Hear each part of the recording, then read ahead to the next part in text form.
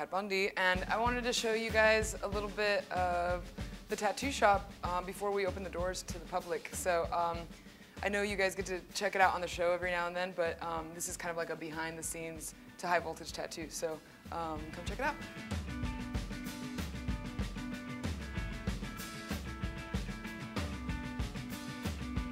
I think a lot of people when they come in here, they don't realize that all the stuff on the walls is just, you know, part of my collection of things that I've collected over the years and gifts that have been given to us by fans or people that we've tattooed or just artists in general. So this is actually a portrait um, of my hands holding my favorite tattoo machine and it was done by Shawn Barber, who's also an awesome painter. The guitars on the walls, all of them, are pretty much with the exception of like two or three, were given to us um, as gifts. Like that one in particular was, was given to us by Dave Grohl. He actually wrote like really small lettering, like lyrics to a song all across the, uh, around the edges of the guitar. So it's a pretty special guitar. Over here, um, even though I hate pictures of myself, I had to hang this one up because it's such a great portrait and it was done by my dear friend Wes Borland. I think a lot of people know him from all the music that he's created and the bands that he's in, but they don't know that he's a talented painter. And he actually made this frame by hand too, so it's pretty awesome. These three guitars here are Dimebag uh, guitars. And um, this one here is from Phil Collen from Def Leppard. And I just recently was able to tattoo him and his wife, and that was a, a hand-painted guitar that he gave to us, so I thought that was really awesome. Um, if you follow me this way, obviously this is the drawing area where a lot of the, the magical part of the creating of the tattoos happens in the beginning stages and it's very communal so it's where we spend a lot of time hanging out and talking and making fun of things and whatnot. I love looking at these black velvet paintings.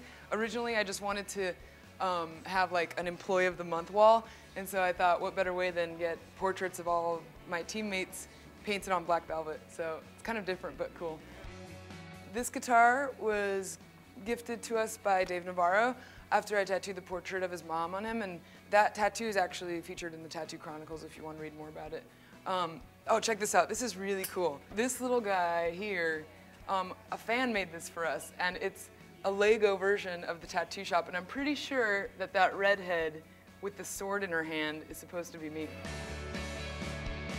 This lovely gem over here of a chandelier, um, there's a really neat story behind it because um, it is made by a um, glass sculptor from New Orleans named Mitchell Gaudet.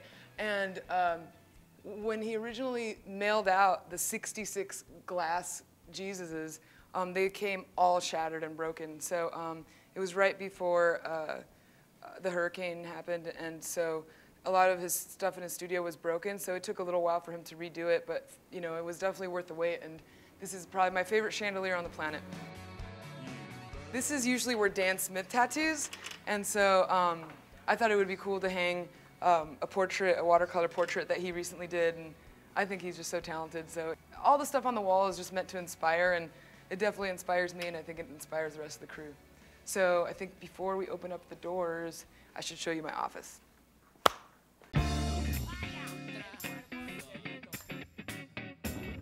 This actually says ego sum domus, and that means I am home in Latin. So here's my home.